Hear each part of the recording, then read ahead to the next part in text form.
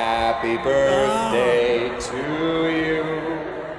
Happy birthday to you. You've definitely seen this video floating around YouTube, but do you want to know how this friendly rivalry all started? Hi, I'm Peter, and here's the full timeline of the feud between Ryan Reynolds and Hugh Jackman. It's a fight that dates as far back as X-Men Origins Wolverine. Reynolds was playing some kind of Baraka pool straight out of a Mortal Kombat game, while Jackman was discovering his shiny new adamantium claws. And the two were having some fun picking on each other. Hugh Jackman must have enjoyed Reynolds' mouth being shut that whole time, but Twitter and Instagram became their real battlefield. I can't wait to see it. I love Ryan, and yeah, he can take shots. Come, bring it on. On. Judging by the total awesomeness of the people surrounding Wolverine, you could be forgiven for thinking that Jackman was in the lead for quite some time, starring alongside acting luminaries like James McAvoy, Michael Fassbender, Halle Berry, Sir Ian McKellen, and Sir Patrick Stewart. While the highlight of Reynolds' career at that point was marrying Blake Lively. That is, until he let loose his fantastic comedic talent in Deadpool. Back in 2015, before the Merc with a Mouth solo movie was given the go-ahead, Reynolds posted a video on Instagram mocking Hugh Jackman's Australian accent, which Jackman retweeted. G'day, mate. Hugh Jackman here.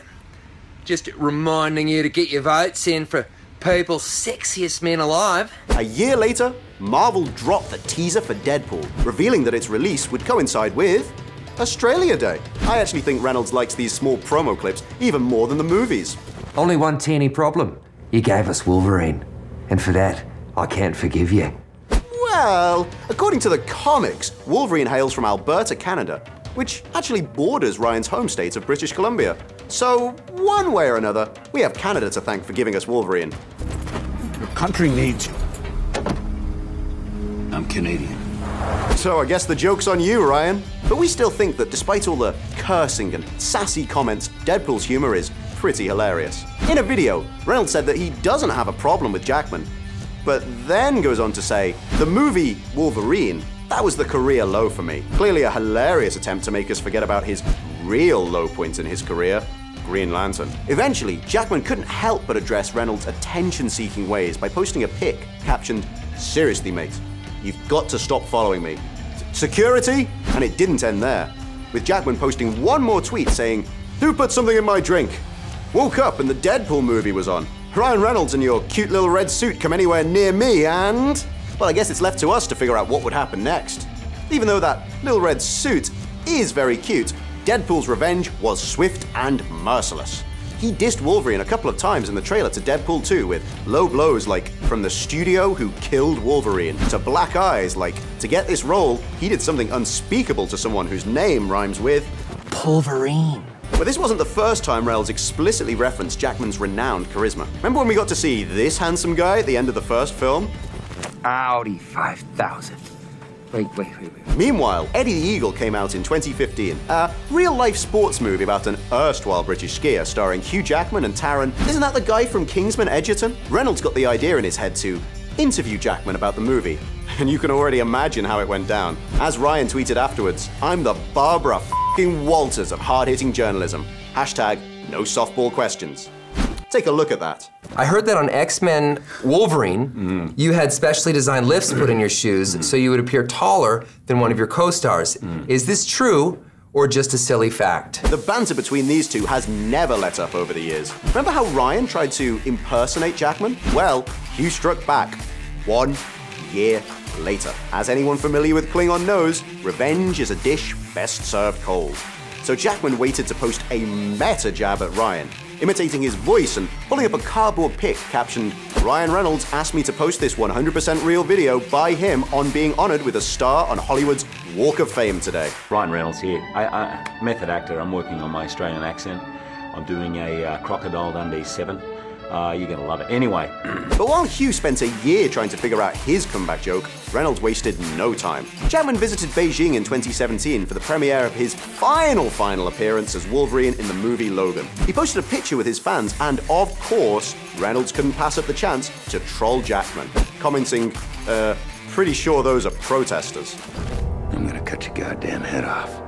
Funnily, Or maybe appropriately enough, Deadpool ended up being banned in Beijing. And in 2018, instead of promoting the original cut of Deadpool 2, China only partially relented and premiered a PG 13 re edit of Deadpool 2 called Once Upon a Deadpool. Rather than calling him Xia Xie, Chinese fans have affectionately dubbed the character Little Zhang Zhang, which sort of translates loosely as Little Bitchy Bitch. Think Jackman would have ever stood for that? We have to admit, though, Reynolds handled it pretty well. He later commented on the nickname at a presser. I feel like my wife gave that to me at first, but I guess China can get the credit. While filming Deadpool 2, Ryan injured his arm and was scheduled for surgery, but cancelled it in favour of promoting his film in China. As he explained himself, this was more important. I was not going to miss coming to China. That's true dedication and shows a lot of love for the fans. Or maybe Reynolds really does have a healing factor that he keeps under wraps. I'm glad that Chinese fans got a chance to see what they could of Deadpool 2, but the edit ended up leaving out a lot. Anyway, Reynolds' career has picked up steam on the back of his incessant trolling.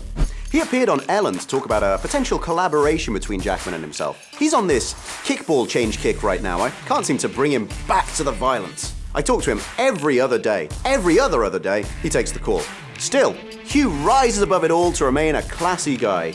Here's how he responded to Reynolds on the Today Show. We do speak every other day. And, and, and he calls me every other day wanting to be in my one man show, singing and dancing as Deadpool. And I'm like, dude, I don't think you can sing or dance unless you can. Unless you can. Well, did he accept the challenge? In 2018, Jackman and Reynolds felt like that wasn't enough and decided to get even more celebs involved in their spat. Gorgeous Emily Blunt posted a pic with Jackman, and Reynolds ended up jokingly siding with Blunt's husband, John Krasinski, when he commented, This is a call to action. This man must be stopped. But it was Reynolds who ended up getting stopped in the end. Jake Gyllenhaal helped Hugh Jackman pull a classic holiday prank. Take a look at this photo. These fucking assholes said it was a sweater party, Reynolds captioned. Even Reynolds' wife Blake Lively took it upon herself to get involved in the game to troll Ryan. And if you want a compilation of the best Ryan Reynolds versus Blake Lively moments, let me know. For Reynolds' 41st birthday last year, Blake posted a pic of Ryan Gosling with the caption, Happy birthday, baby. This probably smarts a bit, but it's also probably a bit less painful than this sarcastic tweet. Who needs a minivan? I'm driving this from now on. Subtle, gorgeous, and oh my god, you're huge. And that leads us to yet another set of meta trolls about the van. Let's see what the deal actually is. Both guys have their own businesses. Reynolds has a stake in Aviation Gin, which I can uh, personally confirm is pretty great. While Jackman started his own coffee company and a foundation called Laughing Man. Hugh puts up half the costs to start the foundation and donates all his profits back to helping local farmers and communities in coffee producing countries around the world. One might say that Jackman finally had enough time to work out his business plan because his main source of income dried up, because, uh, Wolverine's, you know, dead. But anyone would have to admit that what he does is very cool. So cool, in fact, that the two actors decided to call a truce and agreed to film ads for each other's products. Take a look at Reynolds' touching ad for Hugh. Can a cup of coffee be a superhero? Because Laughing Man beans are born with a special power. Sure, it's the best tasting coffee on the market. Yeah, it awakens your senses with unbelievable flavor. But Jackman played it a little dirty. Ryan Reynolds is a complete and total The gin's pretty great, though. I'll have to try it someday.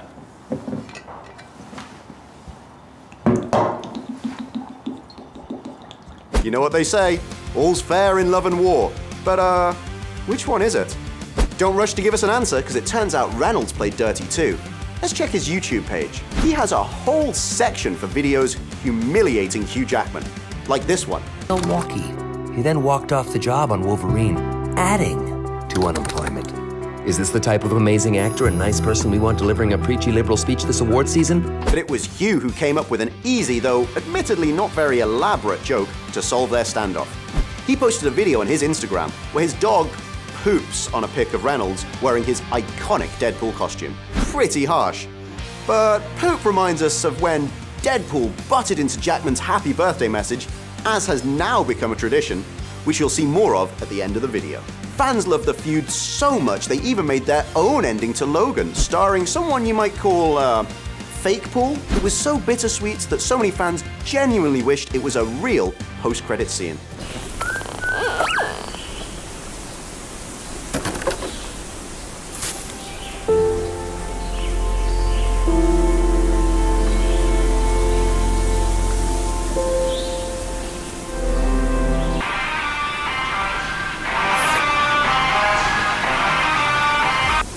Uh, cool Rocky 4 reference, by the way. Even Blake Lively secretly thinks that Jackman and Reynolds are closer than we know.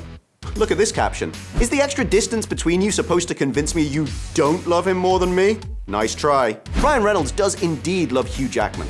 This September, when Hugh received the Order of Australia, Ryan posted a pretty sweet tweet praising him in his own friendly manner. Receiving the Order of Australia is a huge deal. And despite what I tell anyone who'll listen, Hugh Jackman is one of the finest, kindest, hardest working, generous, and most talented people I've had the privilege to call my friend. There's nobody better. None of this changes the unfortunate fact that he's a complete bastard. And Jackman recently turned 51 on October 12th while performing his stage show, The Man, the Music, the Show, in Indianapolis. After finishing a spirited birthday performance, Jackman was so excited that he shouted out, Hey, let's see Ryan Reynolds do that! In a matter of mere seconds, Ryan's face emerged on a huge screen to sing him a happy birthday, finishing with a sweet touch. And I'm not even professionally trained, Jackman, you piece of But it was just after Jackman made his birthday wish that he took his chance to get the last laugh. This is my show. You do not go stealing my show. No one likes you. And I say that as a friend. So, who's the ultimate winner in this friendly rivalry? Was the winner friendship all along? Let me know who's better in the comments. And tell me about any other celeb feuds that you want us to talk about next. Thanks for watching, and don't forget to subscribe. And, as always, stay awesome.